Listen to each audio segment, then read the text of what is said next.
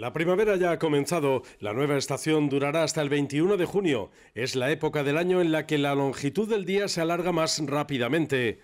España deja atrás un invierno cálido, de ambiente húmedo y marcado por la sequía meteorológica. De acuerdo a la Agencia Estatal de Meteorología EMET, lo más probable es que la nueva estación llegue con temperaturas por encima del promedio normal.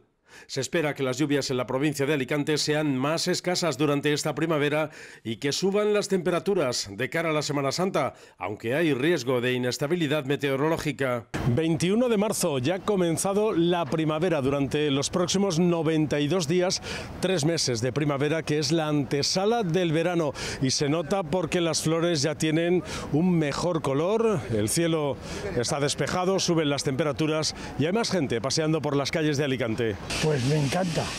Y más teniendo a mi bombón al lado. ¿eh? 60 años juntos. Cambia el tiempo, es otra cosa, ya el frío aquí ya ha pasado y muy bien. Se está muy a gusto, por, no hace tanto frío por las noches y mañanas. Durante esta primavera esperamos dos eclipses, uno de sol y otro de luna. El eclipse solar tendrá lugar el 20 de abril, mientras que el de luna de tipo penumbral sucederá el 5 de mayo, según los cálculos del Observatorio Astronómico Nacional. Y con la primavera llega el cambio de hora, algo en lo que tenemos que andar pensando de cara al fin de semana, porque la noche del sábado al domingo a las 2 serán las 3, es decir, dormimos una hora menos. Es la noche más corta. Tenemos que andar pendiente por si domingo por la mañana hemos quedado con alguien, ya sabes, cambio de hora a las 2, serán las 3.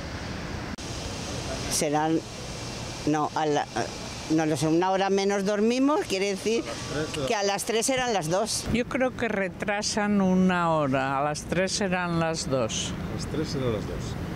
O a las 2 las 3. Exacto, una cosa de esas.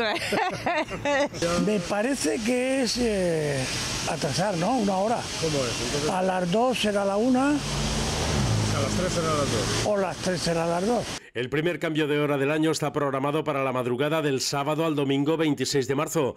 Los relojes se cambian de las 2 hasta las 3, por lo que dormiremos una hora menos. La primavera arranca con Júpiter, Venus y Marte tras la puesta de sol. Mercurio hará una breve aparición durante el mes de abril. Los amaneceres comenzarán con Saturno como único planeta visible.